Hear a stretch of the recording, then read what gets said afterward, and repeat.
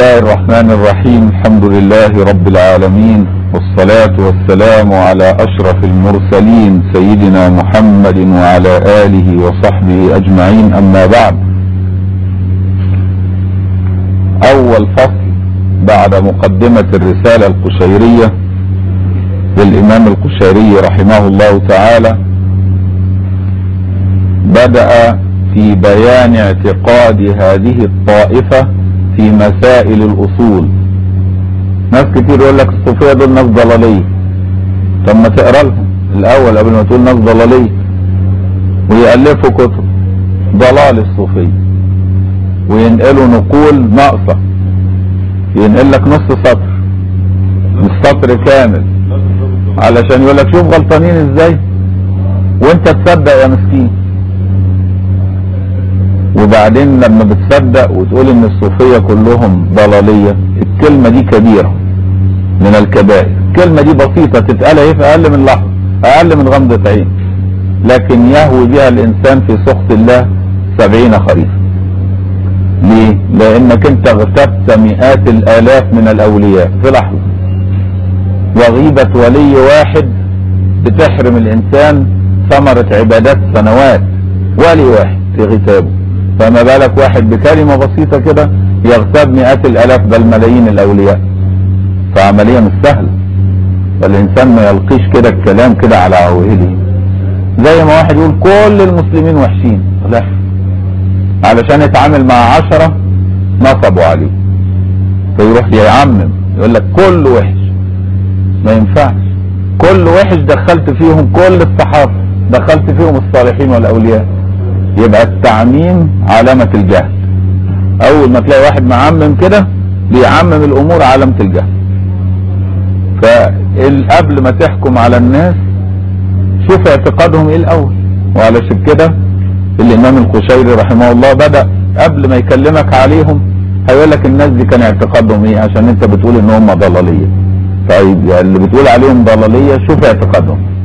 ومهم تاني إنك أنت لما تعرف اعتقاد أهل الصوفية إنك تعرف اللي هو. يعني عامل نفسه صوفي وهو مش صوفي ولابس ثيابهم ولبس الخرقة.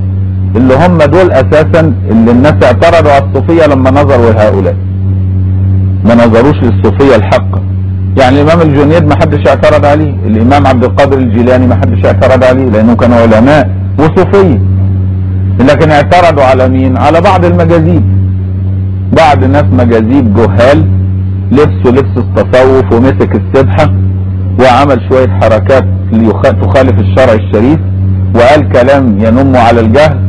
فالناس افتكروا إن كل الصوفية كده. قال شوف يبقوا ضلالية لا مش كده. زي اللي يحكم على المسلمين إن هم ما بيصلوش. لأنه مشي في الشارع وقت الأذان لقى كل الناس ماشية في الشارع ما حدش بيصلي. يقول لك كل المسلمين تاركين الصلاة ما ينفعش.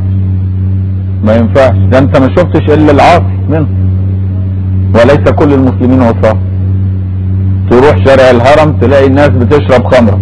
تقول كل المسلمين بيشربوا خمرة. ما ينفعش.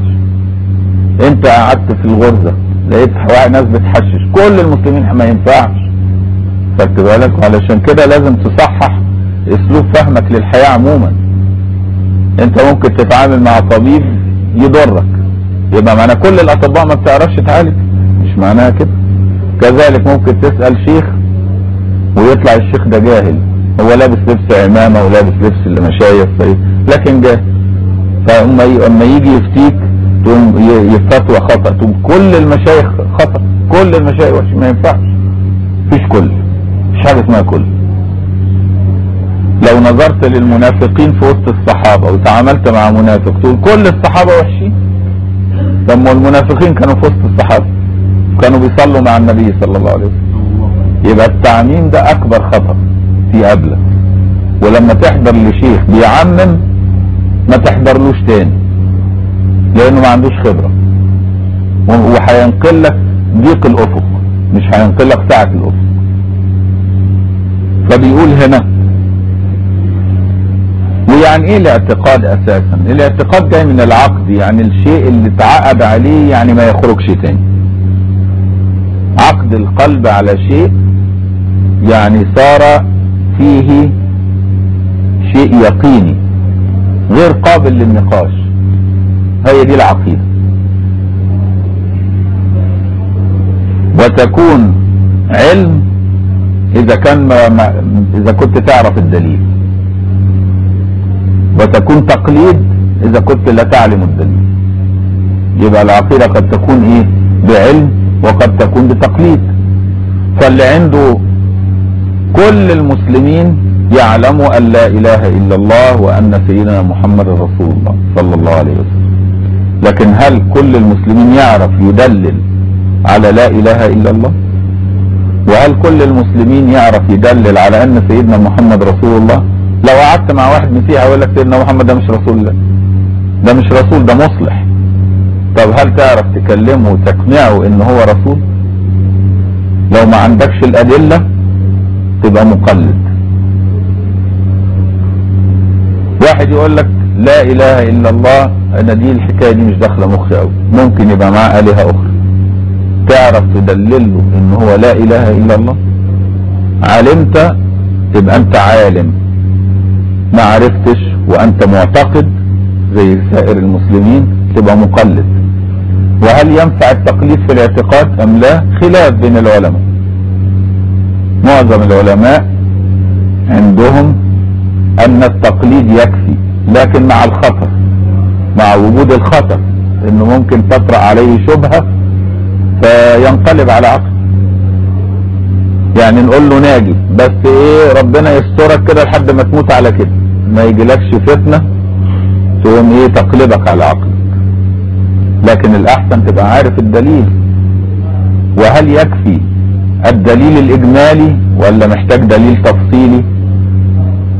الراجح أنه يكفي الدليل الإجمالي. يكفي الدليل الإجمالي. دليل إجمالي لما أقول لك لا إله إلا الله. أقول لك دلل على إن لا إله إلا الله. تقول لو كان فيهما آلهة غير الله لفسدت. ده دليل إجمالي. تقول له عدم فساد الأكوان دليل على إنه إله واحد. دليل إجمالي حلو. يكفي. يكفي في النجاة. لكن تخش مع الفلاسفة يقول لك 100 دليل. فما مش مش مش مطلوب إن المسلم المعتاد يبحث في الأدلة التفصيلية الكتيرة اللي هي إيه؟ موجودة في كتب التوحيد في كتب علم التوحيد وعلم الكلام. يكفي الدليل الإجمالي. زي الأعرابي البسيط. اللي جاء للنبي صلى الله اللي جاء أيام سيدنا عمر بن الخطاب اظن وقال البعرة تدل على البعير والأثر يدل على المسير. سماء ذات أبراج أرض ذات فجاج أفلا يدل ذلك على ذات العليم الخبير؟ أو ده عنده دليل على إن هناك إله موجد للأشياء ومبدع له. دليل إجمالي جميل. وخرجه من رقة التقليد وهو أعرابي لم يذهب لمدرسة ولا يعرف يقرأ ولا يكتب. لكن صار مؤمنا بعلم ولم لم يصر مؤمنا بتقليد. لأنه عنده دليل إجمالي بسيط جميل حلو. سيدنا محمد رسول الله كيف تدلل أنه رسول الله؟ لمن لا يعترف بنبوته. الرسول لازم تتوفر فيه شروط. أن يكون رجل وأن يكون كامل الخلقة وأن يتوفر فيه الصدق والأمانة والتبليغ والفطانة وأن يكون مبلغ بالغيب وأن يأتي بالمعجزة. اللي تتوفر فيه الحاجات دي يبقى رسول. بس حكاية سهلة ما تعرفش أنت بقى تقول معجزات النبي ما تعرفش تقول إن النبي أخبر بالغيب ما تعرفش تقول إن النبي كان صادقا امينا مبلغا ولم يخن وكان كله فطانة صلى الله عليه وسلم. ما تعرفش تقول كده؟ عرفت تقول الحاجات دي وتدلل بالمواقف كيف أنه أخبر بالغيب؟ وقد نشأ في أمة أمية لا يقرأ ولا يكتب وليس له ثقافة قبل ذلك فأخبر بعلوم الأولين والآخرين. صلى الله عليه وسلم ده أكبر دليل على نبوته. بس أنت ما تقول له جاء بالقرآن طب ما هو مش معترف بالقرآن يا ابني من الأول. فهمت؟ الأول مش معترف بالقرآن. تقول له أصل القرآن معجز في لفظه. هو ما يعرفش اللغة العربية بيتكلم كلمة عربي وكلمة إنجليزي. حتى لو عرف له القرآن مش هيحس مواطن الإعجاز فيه. فهمت إزاي؟ لكن لما تقول له ده أخبر بالغيب. أخبر مثلا ببدء خلق السماوات والأرض. ولم يكن يعلم هذا إلا الله سبحانه وتعالى. ووافق إخباره بالأمور المغيبة ما اخبرت عنه الكتب السابقة المتفق على أنها من الله. والأنبياء السابقين. ما جاش بنقيض ما, ما كان معروفا في الأنبياء السابقين. ثم جاء بتفاصيل كانت غير معروفة في الأنبياء السابقين زي سيدنا يوسف. سيدنا يوسف كان مش معروف قصته عند العرب خالص. ولا العرب نفسهم ما يعرفوش مين يوسف ده. لدرجة ان إن قريش لما قالوا إن إحنا عايزين نسأله أسئلة نحرجه فراحوا لليهود يسألوه نقول له نقول له إيه نسأله في إيه عشان نحرجه؟ لهم اسألوه عن يوسف. فراح سألوه على يوسف واخواته فراحوا يسألوا سيدنا رسول الله عن يوسف واخواته العرب ما تعرفش مين يوسف ده أصلا. واخد بالك إزاي؟ النبي يوسف ولا اخواته فربك سبحانه وتعالى يروح منزل سورة يوسف كاملة فيها تفاصيل اليهود نفسها ما تعرفهاش عن سيدنا يوسف. دي مش آيات لقد كان في في يوسف وإخوته آيات للسائلين. آيات للسائلين. علامة كبيرة على صدق النبي.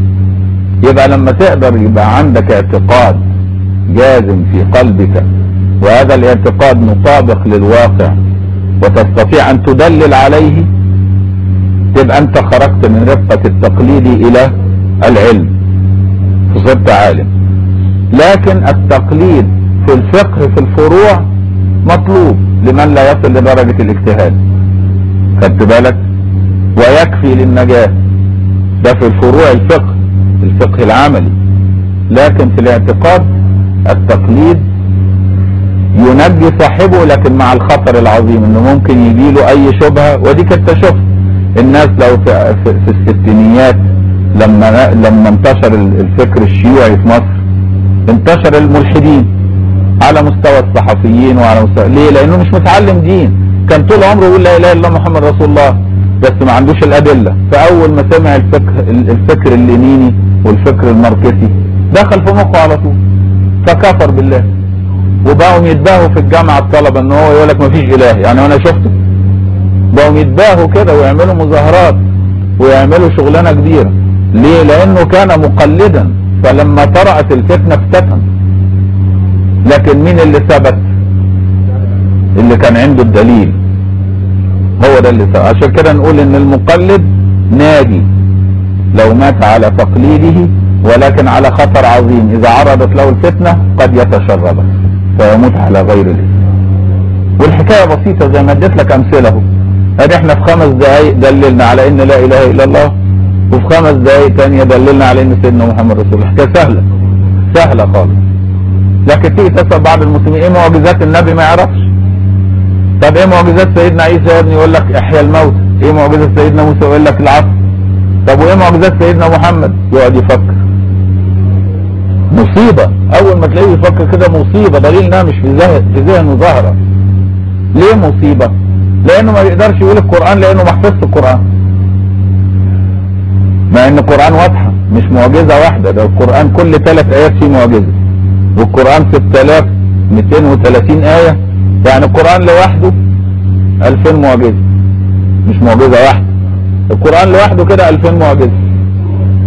ومجالات إعجاز القرآن جواه بقى معجزات قوة متولدة من جوه المعجزة. الإخبار بالغيب والإخبار بالعلوم الطبيعية والإخبار. ويقول لك بقى الدكتور زغلول النجار في المواضيع دي بقى ما لا ينتهي منه إلا بعد عام. وقد لا ينتهي حتى يموت لأن القرآن لا تنقضي عجائبه يبقى القرآن لوحده ده معجزة مركبة من ملايين المعجزات. وبعدين الإسراء والمعراج. دي مش معجزة؟ بتغيب على المسلمين. تيجي تقول له معجزات النبي يغيب يقف بيبلم يا ابني إيه ليه, ليه بتبلم انشقاق القمر. دي مش معجزة. دي ما حصلتش النبي قبليه.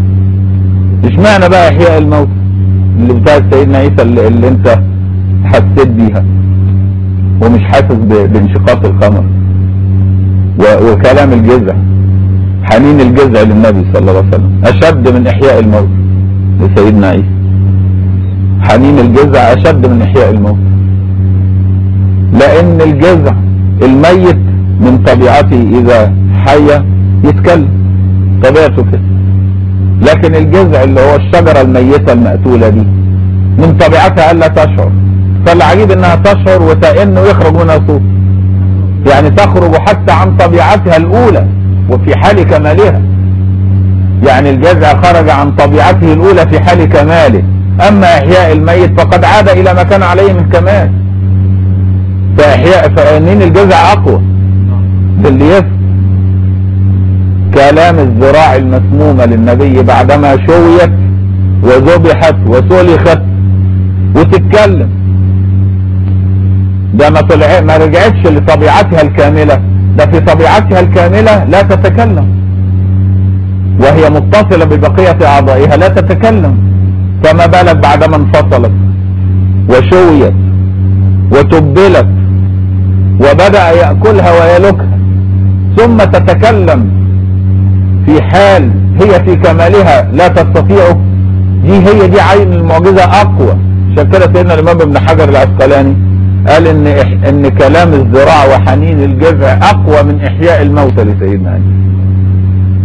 للي يفهم فنبيك معجزاته لا تنتهي. ها؟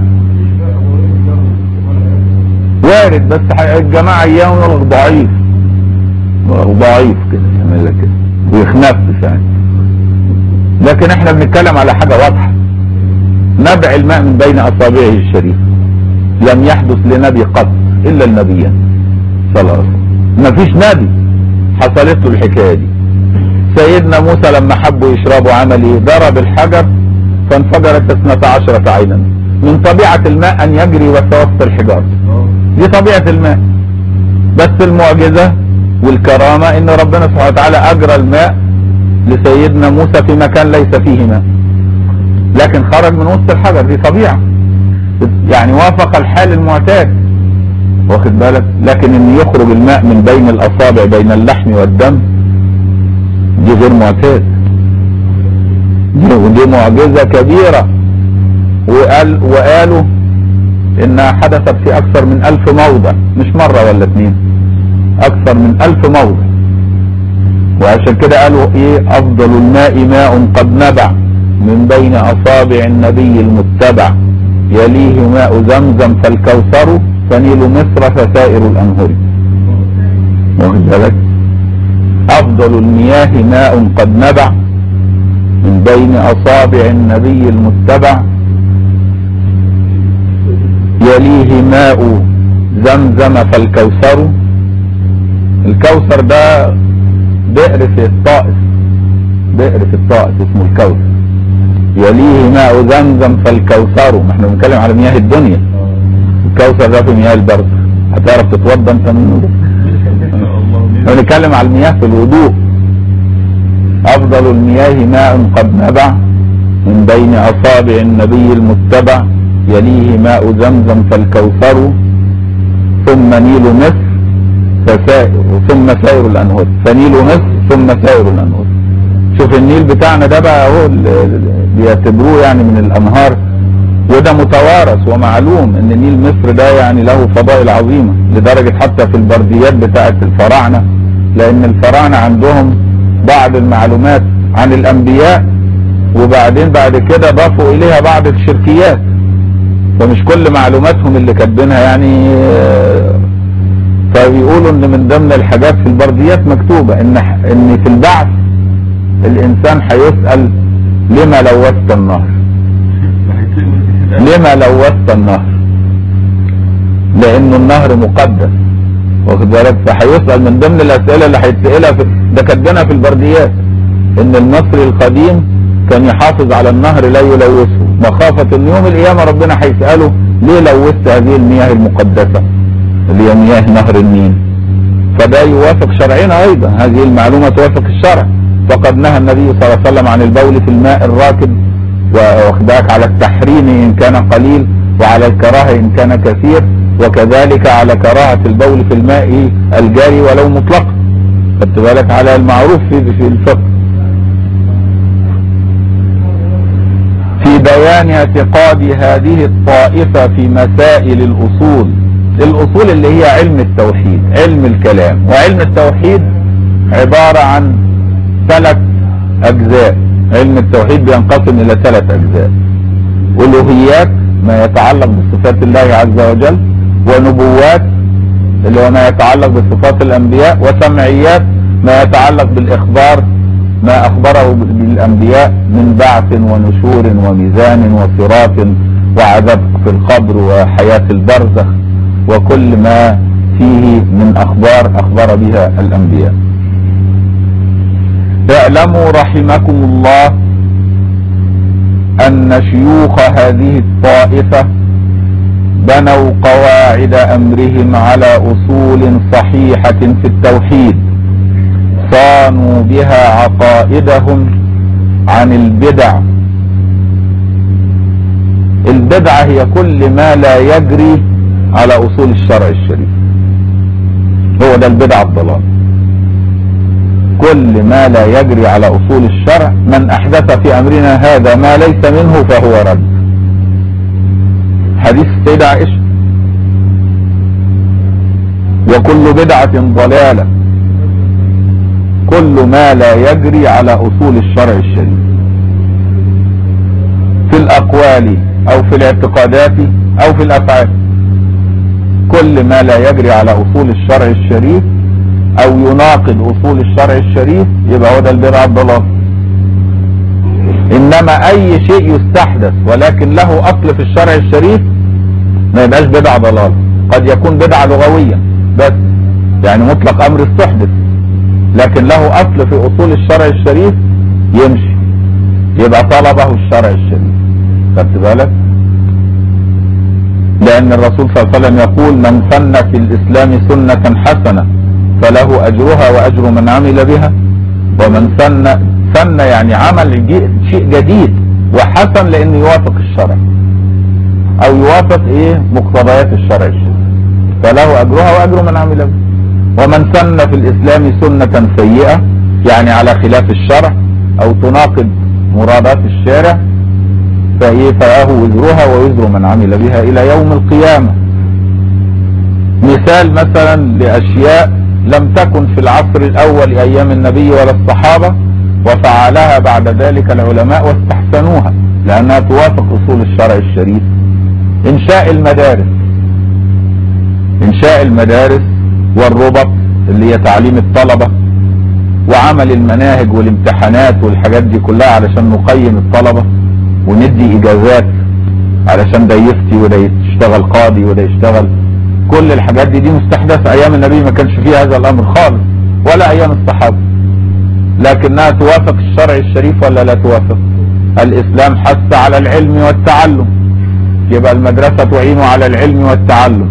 والوسائل تأخذ حكم المقاصد. فإن كان التعليم مطلوب فالمدرسة وسيلة التعليم. فتكون المدرسة مطلوبة وهي مستحدثة بدعة. وإن كانت سنة حسنة. فالأمثلة كثيرة.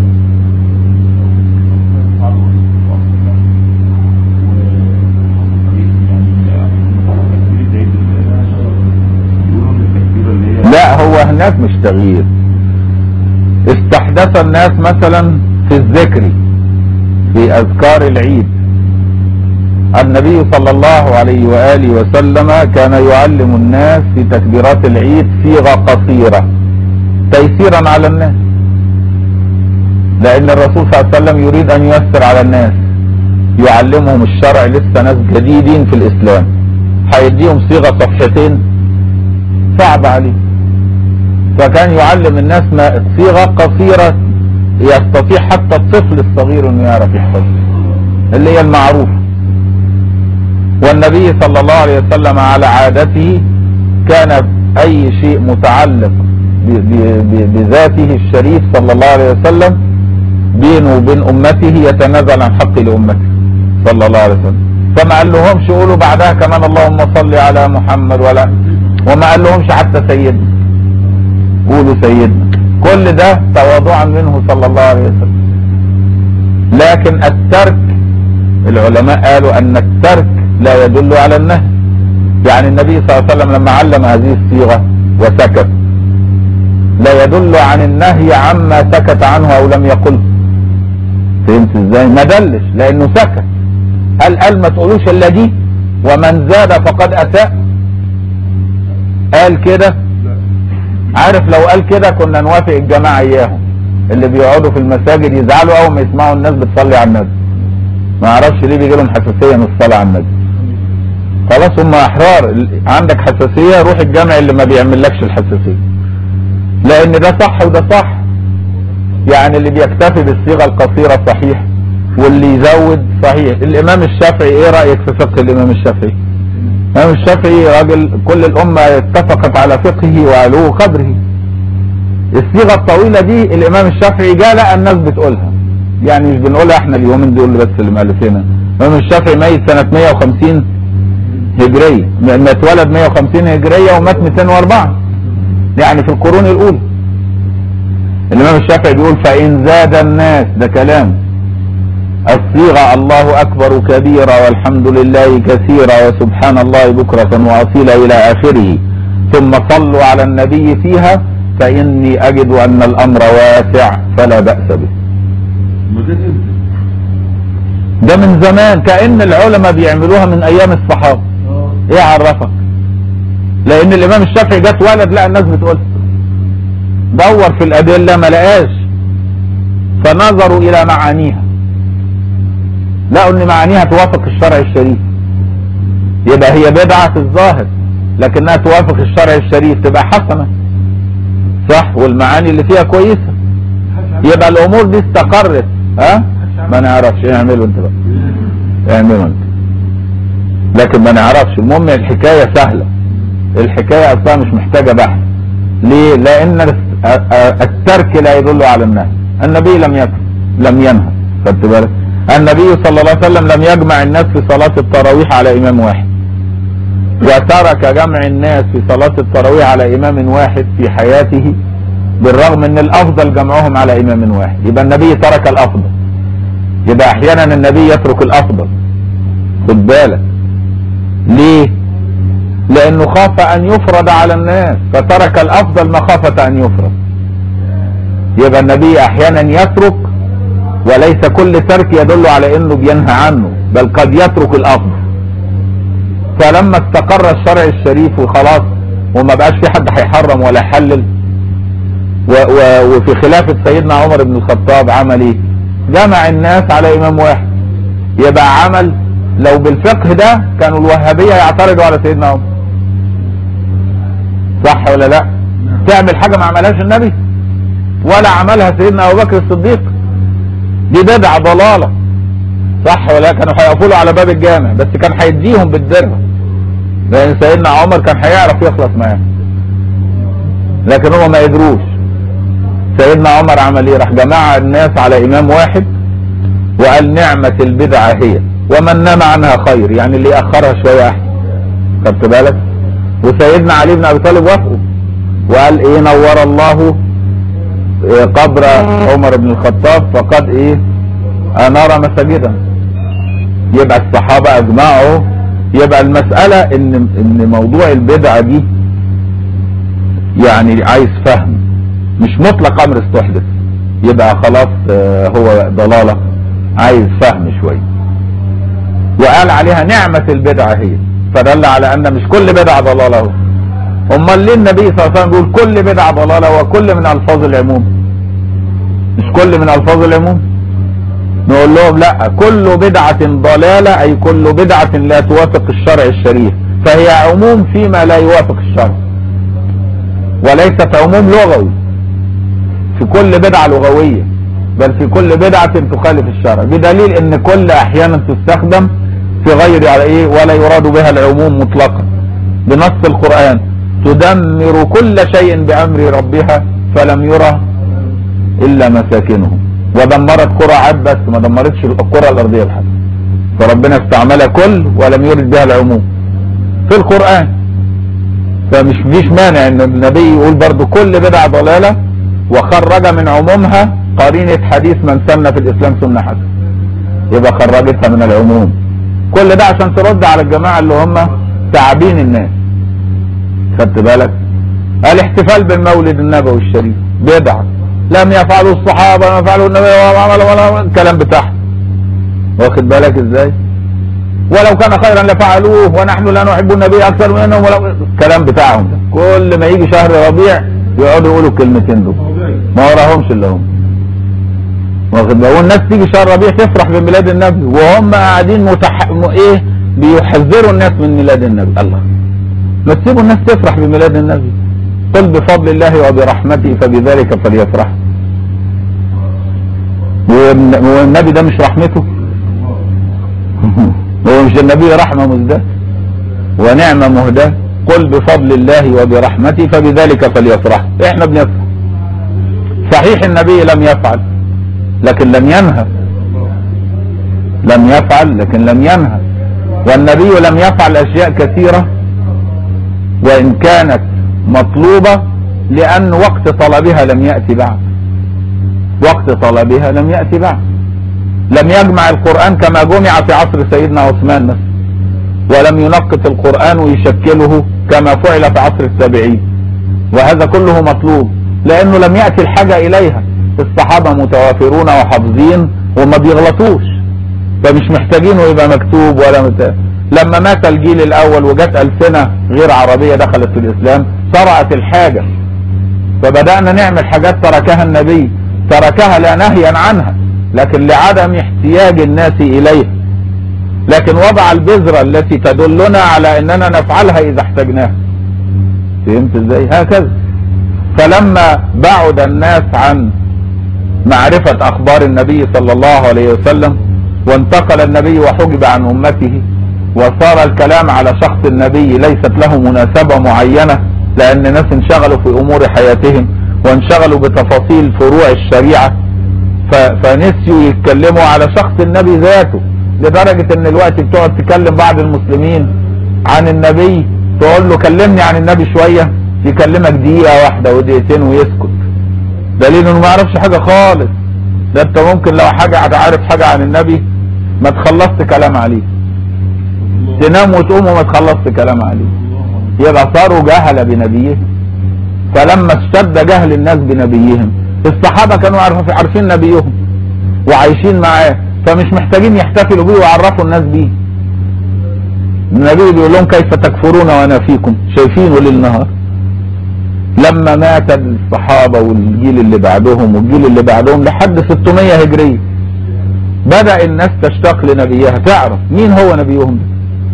ده فاستحدث الناس إن يكلموا الناس على الميلاد النبي. لأن ما فيش ميلاد النبي مش هينبني عليه فقه. فما ما بيتكتبش في كتب الفقه. لو قعدت طول عمرك تقرأ كتب فقه مش هتعرف ميلاد النبي حصل فيه إيه ولا تفاصيل. مش هتعرف نسب النبي. هتعرف نسب النبي؟ مش هتعرف اقعد اقرا كتب الفقه ليل نهار واحفظها كلها على جميع المذاهب مش هتلاقي نسب النبي مش هتعرف المعجزات اللي حدثت في ميلاده صلى الله عليه وسلم. مش هتحصل مش هتعرف كيف فرحت ال- الأكوان لميلاد هذا النبي صلى الله عليه وسلم. ومطلوب إنك تعرف لأن أنت بتقعد تتناقش مع الناس الوقت تلاقيهم مش عارفين نبيهم. ده في واحد راح يحج والدكتور علي نفسه حكاها لنا. راح يحج ورجع يعيط وهو بيحج بيقول أصل أنا كنت بعيط عشان قبر النبي جوه الكعبة. متصور إن النبي مدفون جوه الكعبة. يعني متصور قاعد طول الطواف قاعد بيعيط مقطع نفسه من البكاء. أنا علشان متصور إن قبر النبي جوه الكعبة. شوف قد إيه جهل الناس وصل لهذه. فلما يستحدث الناس إن شهر ربيع شهر ميلاد النبي ده يكلموهم على النبي. وطول السنة هم بيكلموهم في الفقه وفي الفروع. وبينصحوهم المواعظ المختلفة. إيه المشكلة يعني؟ هو الكلام عن النبي عورة؟ ثاني يقول لك لا أكلمهم طول السنة. طب وأنتوا بتكلمونا طول السنة؟ ما بيتكلموش طول السنة. صح ولا لا؟ يا لو إحنا نقعد في شهر ربيع نكلم الناس عن النبي يقول لك ما تكلمهمش في ربيع بالذات. طب ما أنا لو جيت ربيع الثاني هتقول لي بس ربيع الثاني بالذات ما تكلمهمش. طب نخليها في شهر رجب. يقول لي بس بلاش رجب بالذات طب وأنا أخليها إمتى؟ عارف المثل اللي كانت ستي تقوله تقوله لما كان ابويا يضايقني زمان وأنا عيل صغير كده عشان يأدبني تقوم تقول له إيه؟ تقول له إيه بس يا أخي ما تسيب وهو مكسور ما تاكل سليم ما تكسر كل ما تشبع. عارف المثل ده؟ هو ده المثل بتاعه. ده مثل حلو قوي ينطبق على على الوهابية. سليم ما تاكل. مكسور سليم ما تكسر. مكسور ما تاكل. كل ما تشبع يعني أنا أقدم لك عيش سليم وعيش مكسر. وأنت ميت من جوه وأقول لك شرط الأول. خد بالك. مكسور ما تاكل. سليم ما تكسب كل لما تشبع هتاكل؟ هتاكل؟ أهم بيعملوا فينا كده. سليم ما تكسر يا عم دي مش نص مش قاعدة فقهية ده مثل. ده مثل يا ابني. يعني بيعجزك يعني يعني بيقول لك ما تعملش. يعني ما تكسرش السليم وما تاكلش المكسر. كل إيه بقى؟ هم كده. يقول لك إيه؟ يقول لك ما تتكلمش على النبي في شهر ربيع اتكلم طول السنة. تيجي في أي وقت تتكلم ت- يقول لك إيه؟ يقول لك بتكلموا إيه؟ ما تكلمهم على حاجات تنبني عليها عمل أحسن. يعني كل لما تشبع شفت بقى طريقتهم؟ يلاقوا ناس قاعدين بيذكروا ربهم. يقول لهم أنتوا بتعملوا إيه؟ بنذكر ربنا. بتقولوا إيه؟ بنقول سبحان الله سبحان النبي صلى الله عليه وسلم ما عملش كده. بتقولوا كمان بصوت جهري وما عملش بصوت جهري. بتقولوا بصوت سري ما عملش بصوت سري. وقاعدين كده مع بعض وما قعدش جماعة كده. طب قوموا يا جماعة روحوا اقعدوا على قهوه العبوا طاولة. خلاص كده كويس. أول ما يقوموا بقى يقعدوا يلعبوا طاولة ما يروحوا لهمش يقول لهم ليه أنتوا بتلعبوا طاولة ومجتمعين على الطاولة؟ يعني إذا اجتمعوا على الذكر ينهوا مبتدعين. لكن إذا اجتمعوا على الطاولة يبقى ما يجراش حاجة. مش مشكلة. يعني دي عالم نكد. تلاقي الناس صايمين ليلة النص من شعبان نهار النص من شعبان. صايمين نص شعبان طب ما هو وارد صيام الثلاث أيام في القمرية من كل شهر؟ بما فيهم شعبان ما دين القمرية تيجي تنهى الناس ليه؟ يقول لك بدعه لم يرد وعندنا دكتور لقى الحكيمات جايين الصبح ليلة النص النهار النص من شعبان. العيال كلهم عيال مخهم طائق بنات يفضلوا يجروا ورا بعض كده ويتنططوا وبتاع فليلة نهار النص من شعبان. إيه جايين بقى كل واحدة لابسة شرب وجايبه المصحف معاها و- وصايمين وحاجة جميلة وقاعدين كل واحدة في ركن كده بتقرأ قرآن. دخل زي الشيطان الجدع ده اللي هو اتربى هناك في السعودية وفهم التعليم بتاعهم. إيه ده؟ أنتوا هتعملوها فريضة؟ هو صيام النص من شعبان فريضة؟ لم يرد. قوموا يا بنت انت وهي. وراح طالب الكافيتيريا سقاهم بيبسي على حسابه كله. قال علشان بينهى عن المنكر. راح العيال قلعوا الاشاربات وقعدوا يتنططوا بقى تاني وسابوا المصاحف ساعتها انبسط ده, ده, ده اسمه كلام. لا إيه اللي لم يرد؟ هو ده بقى الفقه هو ده الدين يعني. واخد بالك؟ آدي محاربة البدع عندهم فحاجات غريبة. هو الكلام على النبي صلى الله عليه وسلم يبقى بدعة؟ تحبيب الناس في النبي يبقى بدعة؟ لما تكلم الناس على ميلاده وإرهاصات ما حدث في مولده يبقى دي بدعة؟ أما تحبب الناس في شخص النبي تبقى دي بدعة. حاجة غريبة قوي يقول لك لا مش بدعة بس البدعة إن تبقى في ربيع. طب لو خليناها في رمضان تقول لي كلمهم في الصيام. طيب نخليها في ذو الحجة تقول لي كلمهم في الحج. نخليها في المحرم. يا أخي قول لهم صيام المحرم يا أخي هينبني عليه عمل. أنا كنت مجمع الناس في مسجد شريف في الروضة بنكلمهم في كتاب الشمائل المحمدية للإمام الترمذي. بنوصف لهم خلقة النبي صلى الله عليه وسلم. كان أبيض مشرب بحمرة حاجة جمال كده. الناس كلها قاعدة مبسوطة مشتاقه للنبي صلى الله عليه وسلم. وشعره كان إزاي وجبهته جميلة إزاي وكان قوامه إيه وحاجة تفرح. قام الجدع ده قايم يقول لي إيه يا أخي ما تكلمهم في الاستنجاء الناس مش عارفة تستنجى. وقاعد تكلمهم حاجات مش هنبان عليها عمل. قلت له يا أخي والله أنت لو كان عندك ذوق ما كنتش بعد ما إحنا بنتكلم في النبي وطايرين تدخلني الحمام. انت يا سيدي نحدد لك يوم هنا تعلمهم إزاي الاستنجاء. أنا مستعد. انت عندك استعداد تعلمهم في الاستنجاء؟ مش انت راجل كده؟ عايز تعلم المسلمين؟ أنا مستعد اخد لك ميعاد من الشيخ وتيجي تعلم الناس الاستنجاء يا سيدي. الأسبوع طويل. يقول لي لا انت اللي تكلمهم. هو إيه اللي انت تتكلم أنا هكلمهم في اللي أنا شايفه مناسب. أنا شايف ان هم لما يحبوا النبي هيستنجوا كويس. إنما لو استنجوا كويس وما بيحبوش النبي مش هيستفيد. إيه رأيك بقى؟ أنا شايف كده. وكل واحد يحضر اللي شايف. يعني فهم عندهم بدع غريبه فزي بدعة الاحتفال بالمولد النبي بدعة مستحبة. في نظرنا إحنا. واخد بالك؟ ده في نظرهم هم ضلالة. صيام النص من شعبان. ضلالة. ليه يا ابن؟ هو النبي نهى ما أتاكم الرسول فخذوه وما نهاكم عنه فانتهوا. طب وما ترك؟ قال حاجة فيها. طيب مش معنى أنتوا جايين في ما ترك بقى وعاملين متصدرين. الآية لم لم تشمل ما ترك. صح ولا لأ؟ ما أتاكم وما نهاكم. طب وما ترك؟ انظر في المتروك. إن طرأت الحاجة إليه ووافق الشرع افعله ويبقى سنة حسنة. وإن طرأت الحاجة إليه وخالف الشرع لا تفعله.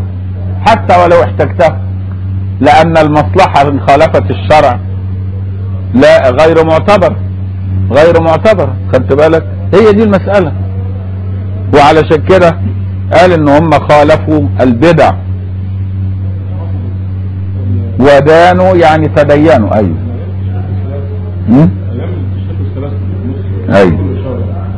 هتوافق اسمها تشريق الأيام القمرية. أيوه مش هتوافق ثالث يوم العيد من ثالث يوم العيد رابع إلا ذو الحجة بس. بتستثنى يوم 13 من ذو الحجة لا يصام. آه مستثنى. بس. يعني لا مش داخل. ده مستثنى بالحديث النبي صلى الله عليه وسلم إن قال إنها أيام أكل وشرب. والنبي صلى الله عليه وسلم له أن يخصص العام. فخصص هذا من عموم صيام الأيام القمريه ودانوا بما وجدوا عليه السلف وأهل السنة. من توحيد ليس فيه تمثيل. يعني تشبيه بالحوادث. يوحدوا الله سبحانه وتعالى لا يشبهونه بالحوادث وعلشان كده علماء أهل السنة طول عمرهم يعلموا الناس يقول لهم الله ليس بجسم ولا جوهر ولا عرض. لأن كل ما هو مخلوق حادث إما أن يكون جسم أو جوهر أو عرض. وعشان كده يقول لك الله سبحانه وتعالى ليس بجسم ولا جوهر ولا عرض. لأن الجسم يفتقر إلى أعضائه ويفتقر للحيز. والله مستغن عن كل شيء. والجوهر يفتقر إلى الحيز انه يتحيز في مكان. والله خلق المكان كان قبل المكان. وده الجوهر. الجوهر اللي هو جزء يعني شيء غير مكون من أجزاء. صلب كده حاجة كده. بالك؟ غير مكونة من أجزاء. دي تفتقر للحيز. افتقار الجسم أشد من افتقار الجوهر. لأن الجسم كالجوهر ويزيد احتياجه لأعضائه. فافتقار الجسم أشد من افتقار الجوهر. وافتقار العرض أشد من افتقارهما من افتقار الاثنين. العرض اللي هو إيه؟ ما لا يقوم بنفسه يحتاج للمحل ليظهر فيه. لكن هو بنفسه لا يقوم. الجوهر يقوم بنفسه. والجسم يقوم بنفسه ولكن الجوهر يقوم بنفسه محتاجا للحيز والجسم يقوم بنفسه محتاجا للأعضاء وإيه- والأجزاء يعني وللإيه وللحيز. والعرض لا يقوم بنفسه أصلا فهو أفقرهم. العرض أفقرهم. العرض يحتاج للمحل ليظهر كالصفرة والحمرة في الوردة. الوردة تقول عليها صفرة أو حمرة الصفار والحمار ده محتاج لوردة عشان يظهر لكن لو ما فيش الوردة ما يظهرش. أنا اما أشوف وشك كده أقول لك أنت مال وشك أحمر النهارده كده ليه؟ ما شاء الله. واخد بالك؟ أو أقول أنت وشك شاحب ليه النهارده؟ الشحوب والصفرة والحمرة في الوجه دي أعراض تحتاج للمحل لتظهر. وهذه هي المخلوقات كلها إما جوهر أو جسم أو عرض. في حاجة تانية حادثة غير كده؟ خلاص. الملائكة مخلوقة من نور أجسام لطيفة. الملائكة أجسام لطيفة. يقولوا عليها كده. لطيفة ليه؟ يعني لا ترى وسموها أجسام ليه؟ لأنها مكونة من أعضاء أولي أجنحة مثنى وثلاث ورباع. شفت الفقهاء أما يتكلموا علماء التوحيد؟ جايبين كله من القرآن. أما يجي يقول لك طب الملك جوهر ولا ولا جسم ولا عرض يا عم الشيخ؟ أنت بقى عارف إن الجسم مكون من أعضاء مش كده؟ مرتبها في مخك. فتعرف إن ربنا بيقول إيه؟ ال- الملائكة قولي أجنحة والجناح عضو والعضو صفة الجسم. صح؟ مش صفة الجوهر ولا صفة العرض. يبقى الملائكة اجسام عرفنا إنها أجسام مع إننا ما شفناهاش. من القرآن. خدت بال حضرتك. يبقى الملائكة أجسام. وقلنا لطيفة ليه؟ لأنها لا ترى بالعين المجردة. لطيفة لأنها لا ترى. خلقت من نور. قادرة على التشكل بالأشكال إيه؟ بالأشكال الشريفة. ولا توصف بالذكورة ولا بالأنوثة. والأنوثة عرفناها منين؟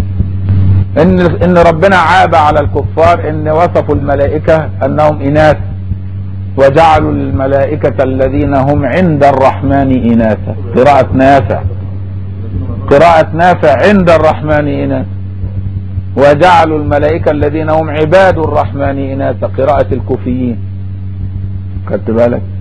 يبقى جعلوا الملائكة الذين هم عند الرحمن إناثا. والعند هنا عندية مكان لا عندية مكان. لأن الله مخالف للحوادث فكل ظرف تعلق بالله فقد معناه المكان والزمان. كل دي اعتقاد أهل السلف. اعتقاد الصحابة العرب الخلص اللي يفهموا. لكن دول ما بيفهموش العربي ولا حاجة. إثبات الصفة أي إثبات الصفة أنه موصوف بها. لكن تكييف الصفة هو ده اللي إحنا مختلفين فيه هم اللي كيفوها أخذوها على ظاهرها ولم يجروا فيها المجاز. والمعطلة نفوا الصفات أصلا. يعني شوف المجسمة صرفوا الصفات على حقيقتها فصاروا مجسمين. والمعطلة نفوا الصفات أصلا وأهل السنة في الوسط. أثبتوا الصفات بغير تشبيه ولا تجسيم. أدي الجمال. هو ده أهل السنة. فهمت المسألة بقى؟ فهمت الفرق بين التعطيل والتجسيم؟ التعطيل إنك أنت تنفي الصفة من الأصل.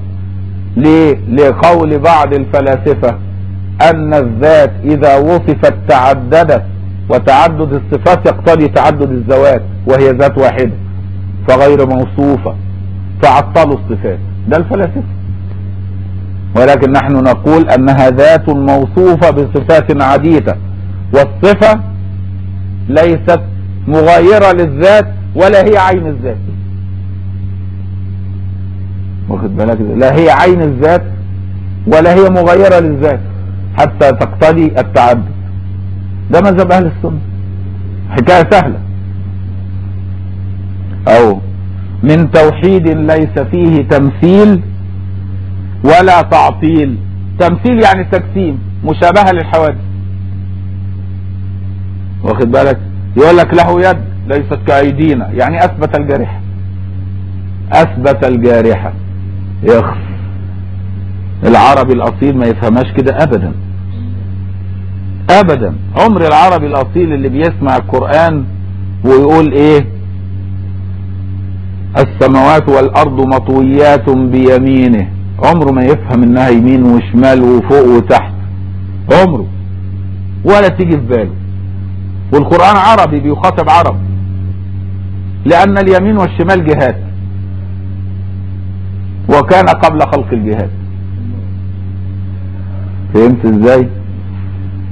فيبقى العربي يفهمها أي في قدرته تحت قدرته تحت قوته أو أطلقها بيمينه كما أطلقها دون أن تؤولها مع صرف معناها الحقيقي عن معنى الجارحة والجهة يبقى في المفوضة صرفوا معناها الحقيقي عن الجارحة والجهة ولم يؤولوا ففوضوا.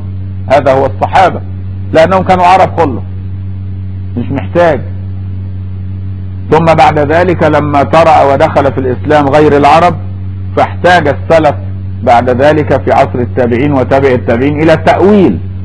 التأويل هو صرف اللفظ عن معناه الظاهر اللي هو الراجح إلى معناه المرجوح بقرينة عقلية أو نقلية.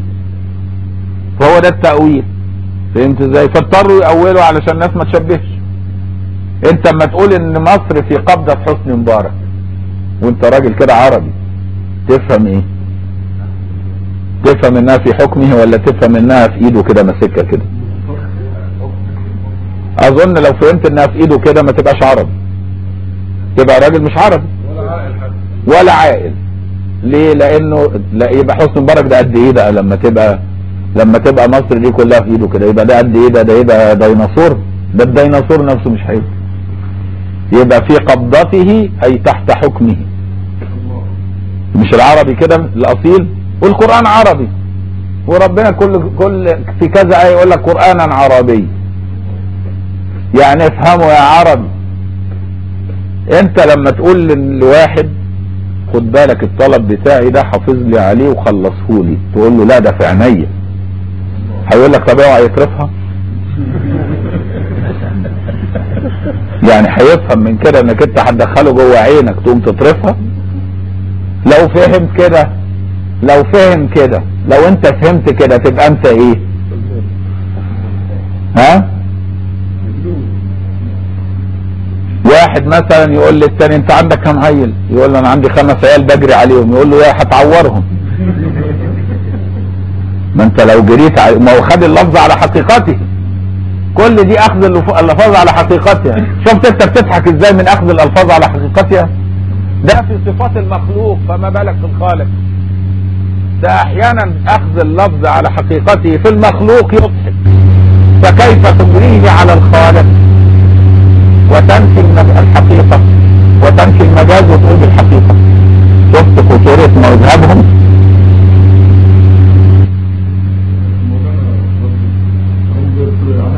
يعني القدرة أو اليد؟ القدر. طب ما تقول مثلا هم يحتاج بقى برضه يقول لك بل يداه مبسوطتان يداه هنا العطاء. لا اليداء هنا بمعنى العطاء. يداه مبسوطتان تدل على العطاء والكرم والجود. يا عرب يا أصيل. فإذا جاءت اليد في معنى القهر فهي للقوة وإن كانت في معنى العطاء فهي للإيه؟ في معنى الجود والكرم والبسط. طبعا. مش انت راجل عربي وبتفهم. على طول كده تفهم. أما أقول إيه رأيت بحرا في المسجد. تفهم إيه منها؟ عالم. صح. لقارين إنه في المسجد لأنه عمر ما المسجد يبقى جواه بحر. لأنه ناس هتصلي في المية يعني بمايوهات. ما ينفعش. وبعدين يغرقوا. هيجي يسجد يغرق. يبقى أكيد مش هو البحر المعتاد اللي الناس بتستحمى فيه. يبقى خلاني صرفته عن معناه الحقيقي إلى معناه الآخر المجازي قرينة الإضافة في المسجد. مش كده برضو يبقى أحيانا تبقى في قرينة. أما تقول رأيت اسدا في المعركة. يعني إيه؟ شجاع جندي شجاع. بقرينة في المعركة. صح ولا لا؟ لكن لما تقول رأيت اسدا وتسكت.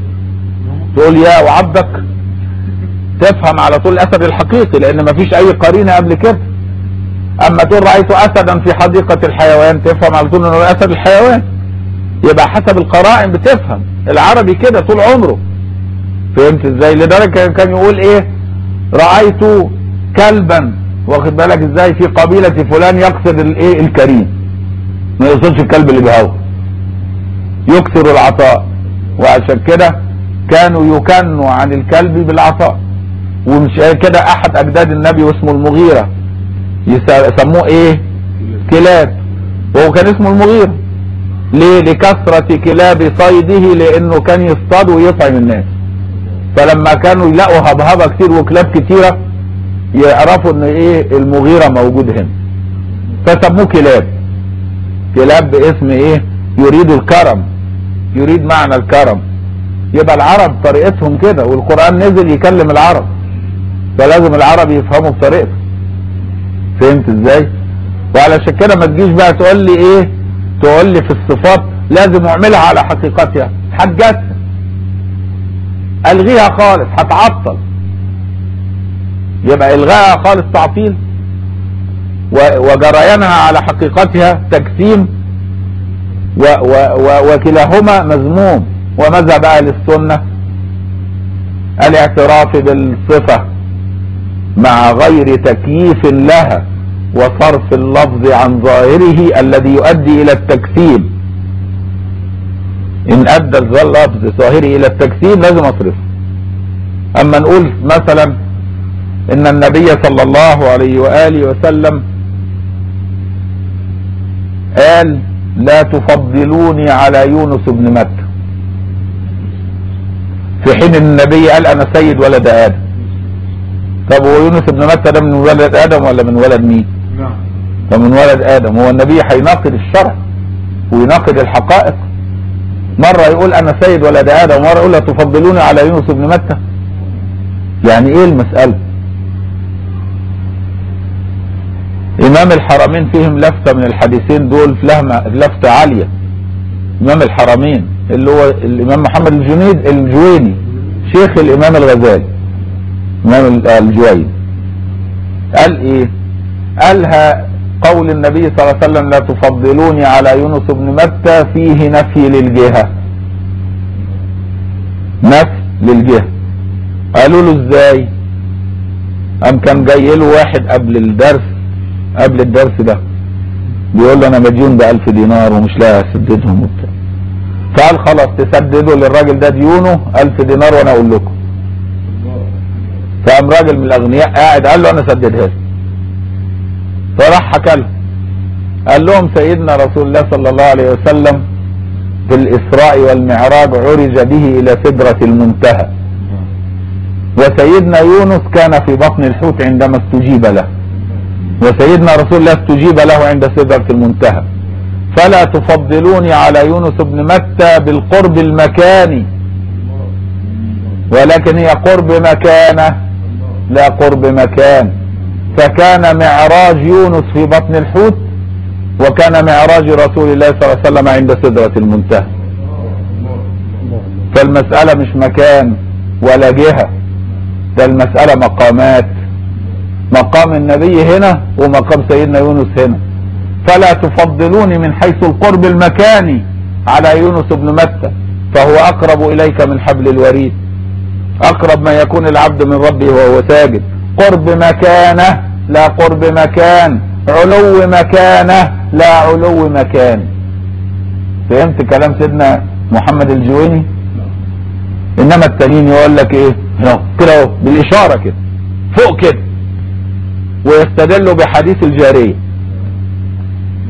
أين الله؟ أشارت إلى السماء. هم عايزين يمشوا ورا ورا حديث الجاريه يعني يقلدوا الجاريه وما يقلدوش سيدنا أبو بكر.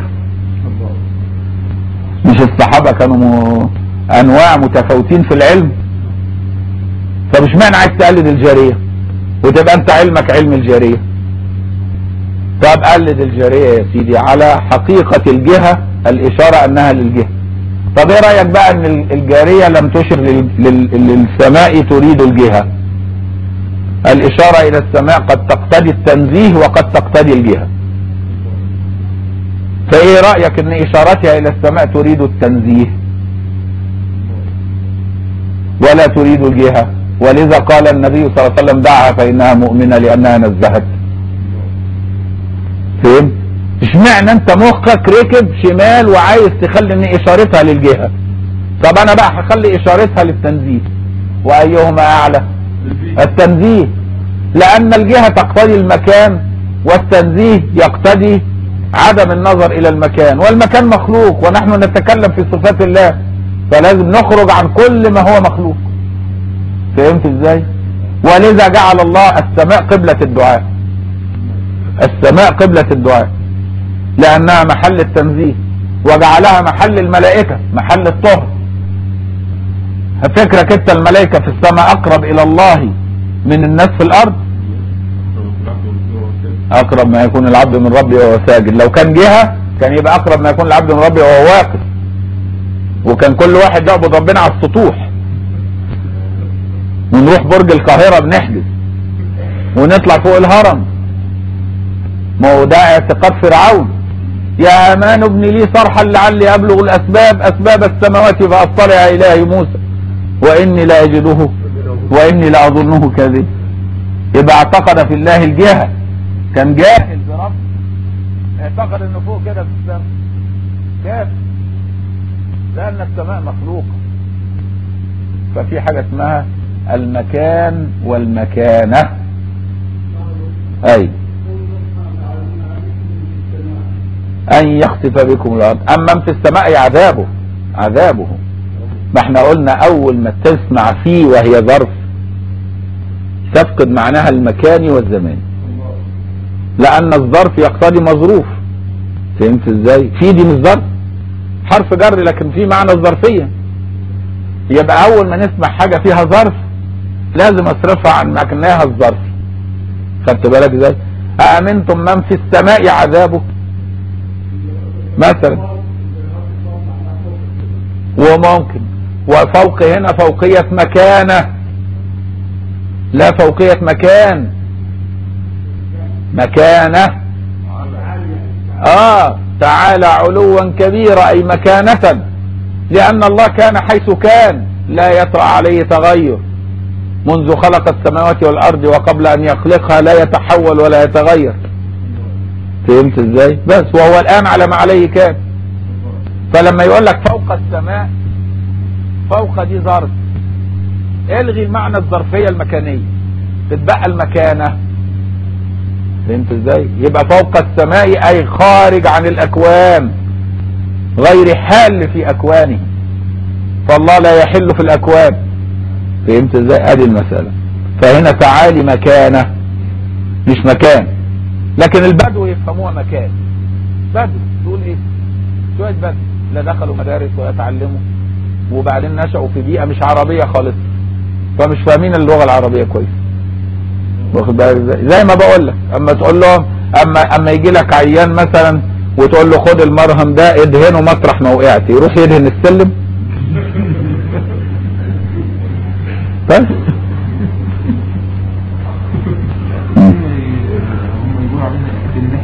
عقولنا ماديه بحيث إن إحنا مش قادرين نفهم. ده هم ده بالعكس ده هم اللي عقولهم مادية لأن أرادوا أن يحددوا. عارف قدوس يعني إيه؟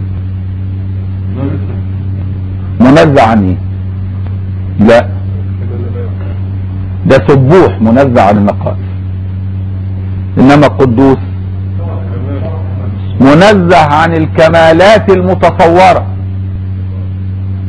يعني هو فوق كل كمال أنت تتصوره لأنه قاهر. ففكرك أنت هتتصور له كمال؟ لو تصورت كمال فقد قهرت كماله. أي فهمته واستوعبته. والله قاهر فوق عباده. فلا يستوعب أحدا كماله. ولو كان هذا الأحد سيدنا جبريل. هو منزه سبحانه وتعالى عن أن يقهره عقل مخلوق فيدركه. لا تدركه الأبصار وهو يدرك الأبصار وهو اللطيف الخبير. نحن ندرك صفاته ولا ندرك ذاته. فهمت إزاي؟ ليه؟ لأنه فوق إدراك المدركات. لأن كل مدرك مخلوق وهو خارج خارج عن الخلق. فكيف يدرك المحدود ما لا حد له؟ وكيف يعني يدرك المخلوق ما لم يخلق؟ فهمت إزاي؟ وعشان كده وجب التأويل. وصرف الأشياء عن ظاهرها. والعرش ده مخلوق ولا قديم؟ طيب يبقى خلاص. إزاي بقى يعني طرأ لها تغير عندما خلق العرش انتقلت؟ ما يقتضي الانتقال. إذا اقتضى الانتقال ده مخالف. وإذا اقتضى أنه ثابت على عرشه الاستقرار محسوس ثبت أنه محمول. وهذا كله مخالف. فهمت إزاي؟ فلازم لازم تفهم. أيوه. أيوه عندما خلقه سبحانه وتعالى عندما خلق العرش كان على الماء. العرش نفسه كان على الماء. والله حيث كان قبل خلق العرش. العرش وما تحت العرش محمول بقدرة الله عز وجل. بس. شوف. يدب ربنا سبحانه وتعالى يقول إيه؟ إن ربكم الله الذي خلق السماوات والأرض في ستة أيام ثم استوى على العرش. إيه؟ يدبر الأمر يفصله يبقى الاستواء على العرش معناه تدبير الأمر.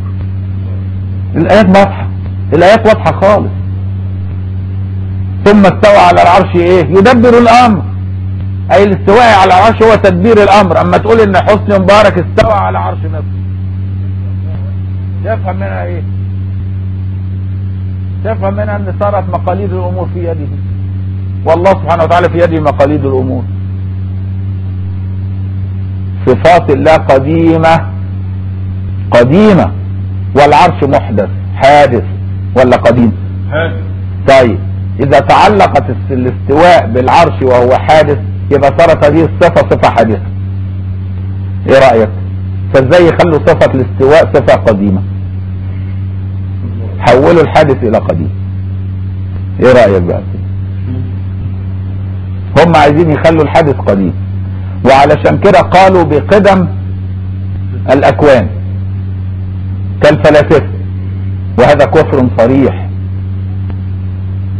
يعني نقل نقل عن ابن تيمية ونرجو ألا يثبت عنه. أنه قال أن الله كانت معه حوادث لا نهائية. نقل عنه ذلك. حوادث لا أول له.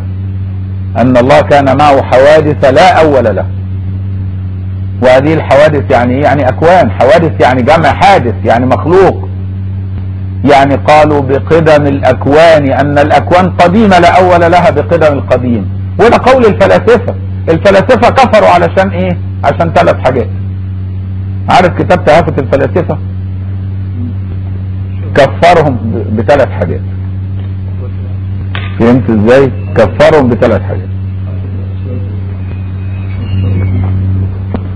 أول حاجة إنهم قالوا بقدم الأكوان.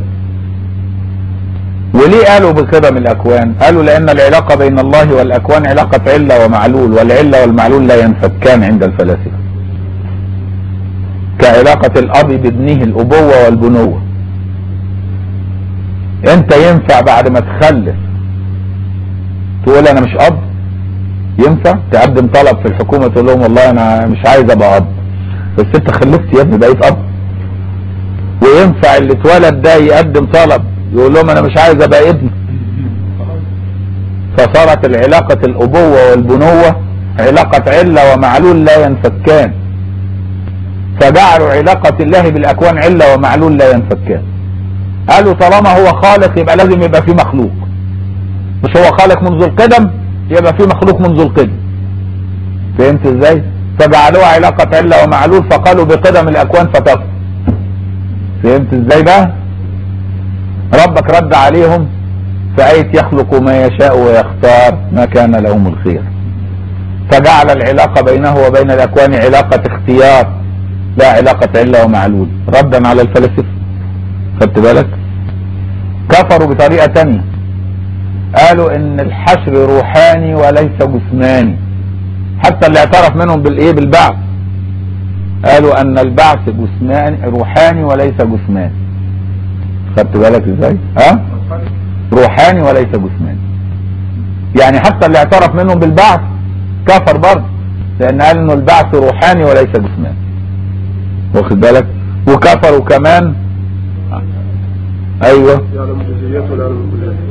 أيوه.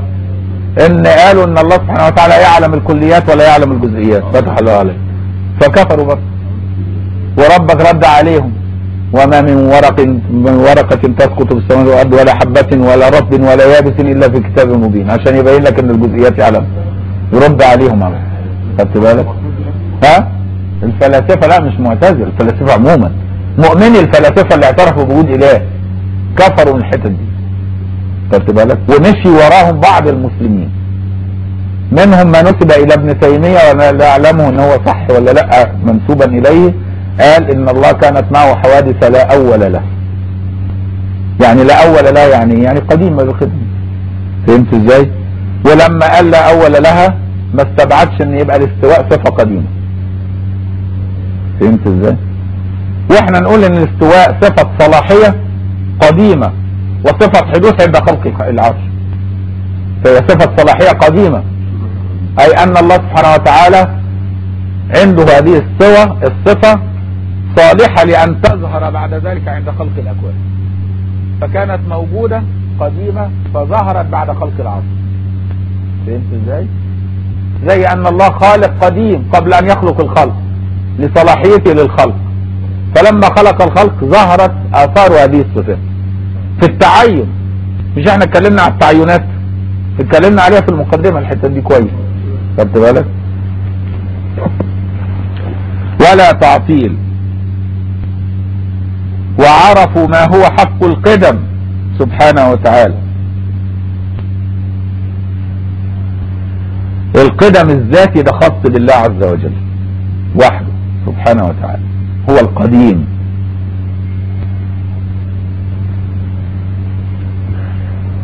لكن الفلاسفة قالوا بقدم العوالم. يعني الفلاسفة قالوا بقدمين قدم ذاتي لله وقدم زماني ومكاني للعوالم. فهمت إزاي؟ الفلاسفة أثبتوا قدمين. قدم ذاتي وأثبتوه لله وإحنا معاهم فيه. وبعدين قالوا في حتة تانية إحنا مش معاهم فيها.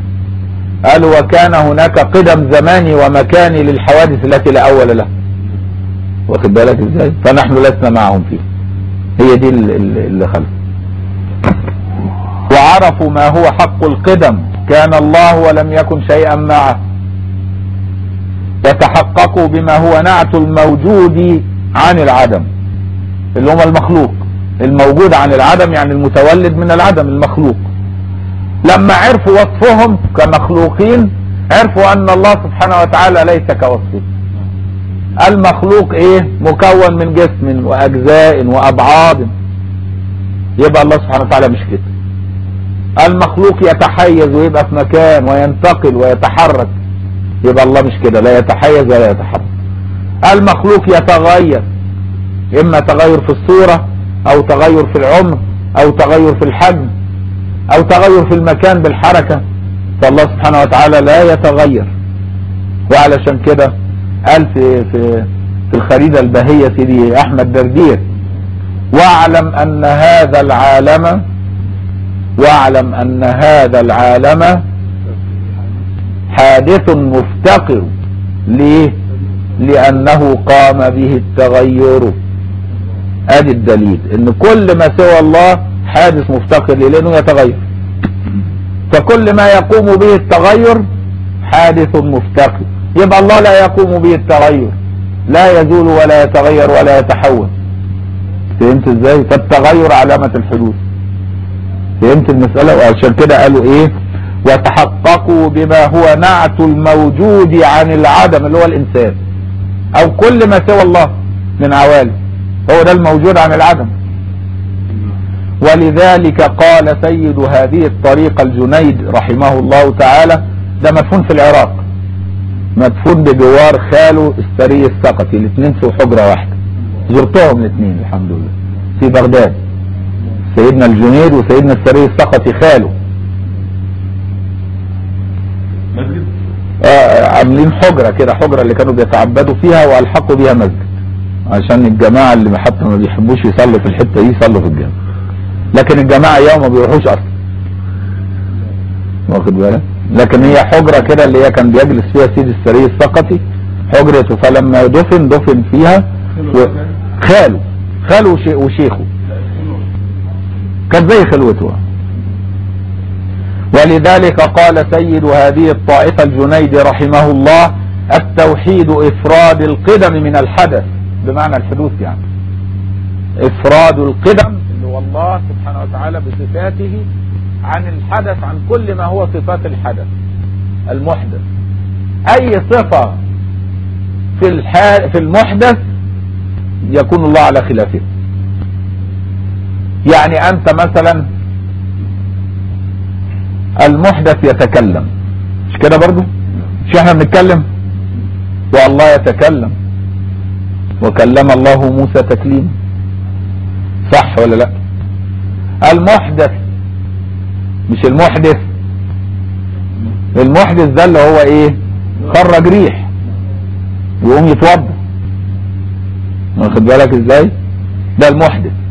إنما نتكلم في المحدث بفتح الدال اللي هو إيه؟ حدث يعني خلق من الحدوث المحدث إذا تكلم بيتكلم بإيه؟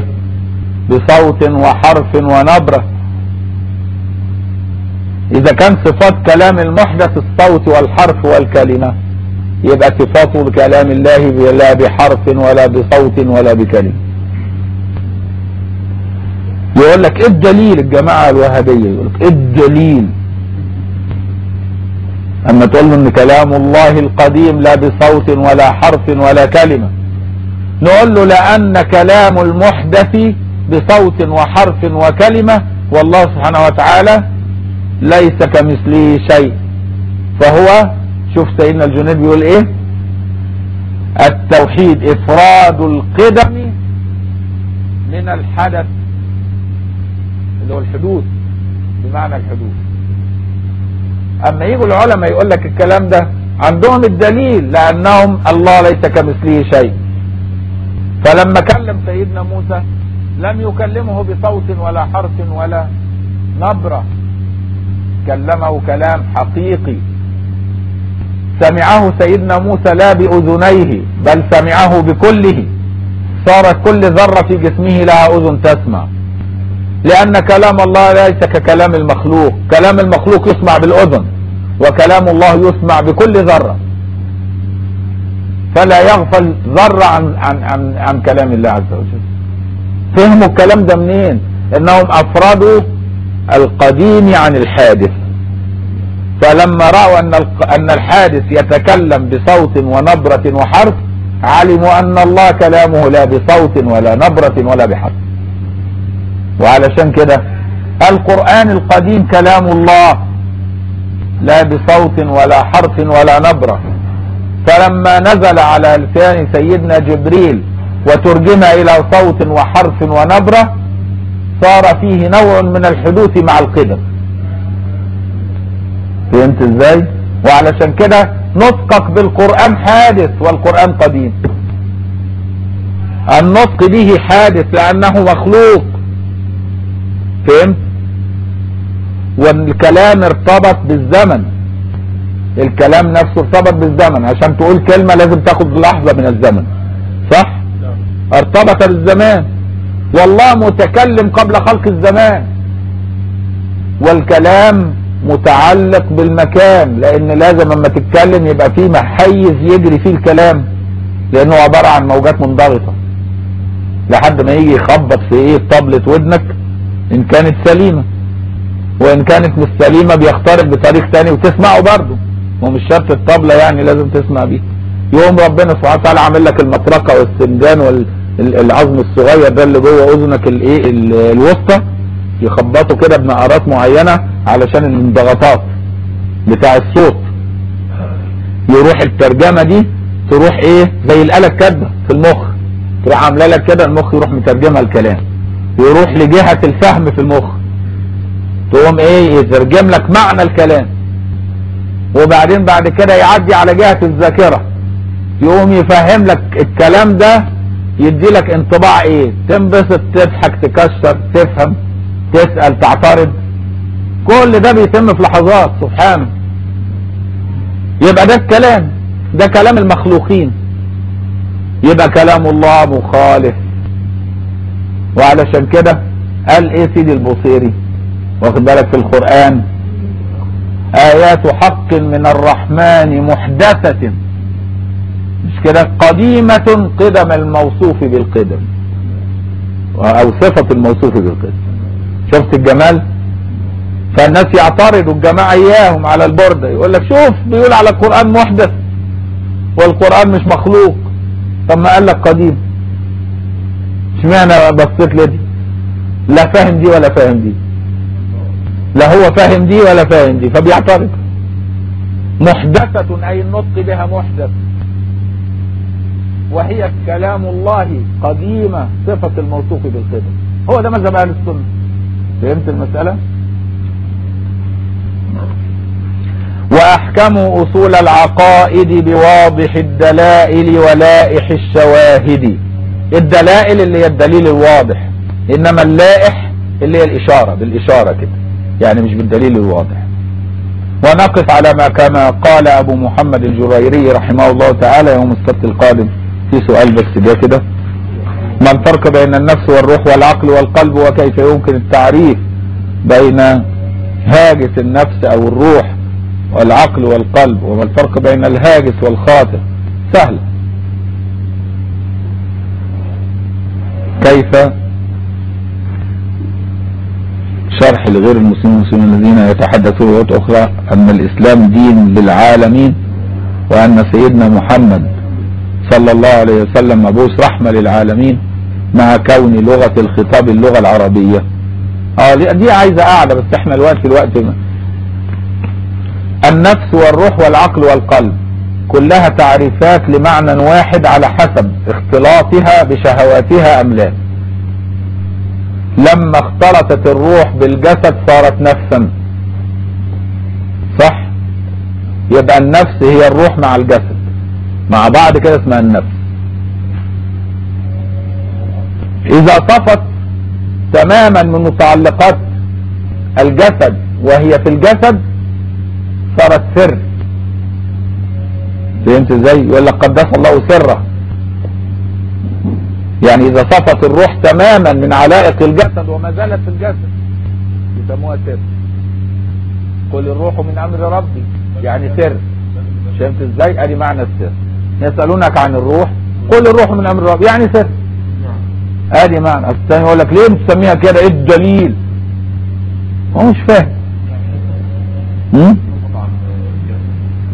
إذا طفت بالترقية تماما ترقت تماما بحيث أصبح الجسد ليس له أي سلطان عليه. خالص. ليست لها أي تعلقات. بياكل ويشرب بقى يعني كأنه بيجري مقادير الله على جسده. كأن الروح بتتفرج على جسد يأكل ويشرب. فهمت؟ دي حالة ثانية عالية. كأنه بيتفرج على نفسه بره نفسه. فهمت إزاي؟ يبقى دي النفس الروح مع الجسد مع وجود متعلقات الاثنين مع بعض اختلطوا في بعض. اللي هم أنا وأنت. خدت بالك إزاي؟ الروح لما ترتقي تماما وتنفصل عن الجسد تماما وهي مخلوقة أيضا. الروح جوهر ولا عرض ولا جسم. جوهر جدع. جوهر. طب وهي الجوهر يدخل في جوهر؟ ما هو الجسم جوهر بس. ما هو الجسم فيه من الجوهرية اللي هي الكتلة. ما إحنا قايلين إن الجسم جوهر. بس زاد عن الجوهر إنه له أعضاء بس لكن هو جوهر. قال لك آه ممكن الجوهر يختلط بالجوهر. السكر جوهر والشاي والمية جوهر صح؟ وتقلبهم في بعض تشرب مية بسكر. صح ولا لا؟ بس سهل. سهل. جوهران اختلط مع بعضهم. فلما يختلط الروح مع الجسد الجوهرين دول ينتج النفس. خدت بالك إزاي؟ والعقل اللي هو ما به تدرك الإشياء مناط التكليف. العقل مناط التكليف. وده عرض. عرض. واخد بالك إزاي؟ عرض ليه؟ لأنه قد يعرض على الإنسان وقد يغيب. يعني واحد عاقل واحد مش عاقل. واحد مجنون خالص. واحد عاقل قوي لدرجة يفلقك من كتر ما هو عاقل. واحد ثاني عاقل نص نص تنبسط معاه. واخد بالك إزاي؟ لكن لما يبقى عاقل قوي قوي كده يبقى برضه حاجة دمها تقيل واخد بالك؟ تبقى حاجة حلوة كده. يعني هي ماشي أمور. يبقى العقل عرض. لأنه قد يغيب وقد يوجد. ويختلف القلب. ده القلب ده محل نظر الله سبحانه وتعالى من العبد وهو ما ينتج من تفاعل مقتضيات العقل بالمعرفة. واخد بالك إزاي؟ والقيام بأداء حقوق الشرع حقوق الرب سبحانه وتعالى والعبودية في آن واحد. ينتج منها ثمرة في القلب وده شيء معنوي غير القلب الايه؟ اللي في الصدر. أو هو داخل القلب اللي في الصدر لكنه مش هو المحسوس. فهمت إزاي؟ اللي هو محل التقوى والإيمان. وكيف يمكن التعريف بين هاجس النفس أو الروح أو العقل أو القلب؟ ال ال اسمها الواردات. الواردات أربعة. الواردات أربعة. وارد ملكي وارد رحماني ووارد ملكي ووارد شيطاني ووارد نفساني فهمت إزاي؟ الوارد الرحماني وهو وارد يطلب منك طاعة معينة في وقت معين يلح عليك. ما ينفعش اللي هي طاعة بس ما ينفعش تعمل غيرها. تلاقي نفسك كده إيه جاي لك؟ حاجة جواك كده بتدفعك عشان تقول الله الله الله. مش عايز تقول غيرها. أو عايز تصلي على النبي بس. أو عايز تقرأ قرآن بس. أو عايز تقوم تصلي بس. أو عايز تصوم على طول. فهمت إزاي؟ يعني يجي لك حاجة جواك تدفعك لعبادة معينة. ما ينفعش عبادة تانية. تلاقي مساق إليها. ده وارد رحماني. فهمت إزاي؟ الوارد الملكي اللي يجي من الملك اللي هو نوازع الخير في الإنسان هو نازع يجي لك جواك كده عايز تطيع ربك في أي صورة. مش مهم حاجة معينة. المهم تبقى في الطاعة. ده اسمه وارد ملكي. خدت بالك؟ والوارد النفساني ده يطلب منك شهوة معينة مخصوصة في وقت معين مخصوص يلح عليك. هي دي اللي عايزها بس. عارف ابنك لما يبقى معاك؟ شيبسي شيبسي شيبسي يا أبويا. لو جبت له عصير قصب ما يرضاش يسكت. لو جبت له لب ما يرضاش يسكت. لو اديته جنيه وما يسكتش ما يسكت. شيبسي هي شيبسي. خد الشيبسي يسكت. هو ده الوارد النفساني. خدت بالك إزاي؟ عايز حاجة معينة واخد بالك ده شهوة معايزين عليك عايزها هي هي ما ما ما ما لو اديته أي حاجة غيرها هي عايزها هي. آه. واحد يبقى متجوز واحدة ست وجميلة وحلوة. ونفسه تزن عليه بيحب جارته. وجارته دي قبيحة. هي دي بس. هي دي. يا ابني ما قدامك ست زي الفل اهي. نفسه كده. أمارة بالسوء. واخد بالك؟ كلكم إلا الست دي. يا عم دي الست دي حتى ما فيهاش منظر. معلوش دعوة. هي كده. نفس أمارة بالسوء. فهمت إزاي؟ ده ده يبقى شهواني. وارد نفساني شهواني. ال- الشيطاني عكس الملك الشيطان عايزك على معصية أي معصية المهم تبقى معصي وخلاص. بس أي معصية. فهمت إزاي؟ ده الشيطان. رايح أنت الجامع يقول لك أنت وراك مشوار دلوقتي الصلاه وقتها واسع وهي الواجب الموسع. مش أنت درست في الفقه الواجب الموسع؟ ما هو يجي لك بقى من كل الجهات. ما هو فقيه برضه. يقول لك ده الواجب الموسع وفي خلاف العلماء والحكاية. واعزم يا أخي حتى خروجا من خلاف النووي. اعزم. إنك أنت هتصلي قبل ما ينقضي الوقت. فتروح إيه؟ تقول خلاص نمشي. وأنا اعزم إن شاء الله هنصلي وتغير جهة الجامع وتروح محود تقضي مصلحتك. وأنت رايح تقضي مصلحتك. واخد بالك إزاي؟ تلاقي واحد غلبان كده وأنت الحمد لله ربنا موسع عليك ومعاك فلوس كتير. بيشحت ويديك. وأنت معاك فلوس كتير. هتحط إيدك في جيبك. شوف يا أخي الراجل عضلاته أقوى منك. ده جسمه أقوى منك. ما بيشتغلش ليه ده عالم هيلث. ولا تديله ولا بتاع شيء. ادي لواحد تاني أيتام ناس غلابه تروح مطلع إيدك من جيبك وتديله واخد بالك إزاي. طول ما أنت ماشي كده بقى. كل ما تيجي تعمل طاعة يروح صرفك لإيه؟ لغيرها لغيرها لغيرها لغيرها لغيرها لحد ما تسوي سوف تلاقي العصر جدا والظهر ضاع. ما بقاش واجب موسع بقى مضيق. بس انشغلت بقى. واخد بالك إزاي؟ ركبت العربية واتزنقت في المواصلات والإشارات. أنت هتقطع نفسك بقى. ما انت وهكذا. وهكذا. يجرك يجرك لحد ما توصل البيت. طب لك لقمة شوية. ما إن لجسدك عليك حق وبعدين بقوم صلي تقعد تاكل وبعدين تشبع.